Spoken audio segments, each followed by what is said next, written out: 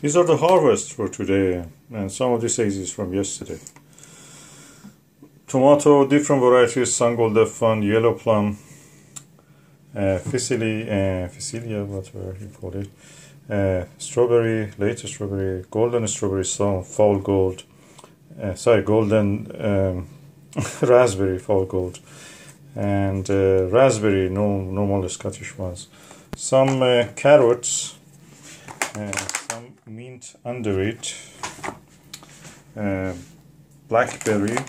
lots of it, Oregon variety, uh, pears, Beth, the first time it gave harvest, one apple, uh, um, cost was honeydew, early bird, uh, sweet corn, runny beans, and lots of salad greens, lettuce, uh, Persian cress, coriander, uh, caraway, uh, name it we have here. So I'm going now to prepare and process some of this for the dinner tonight.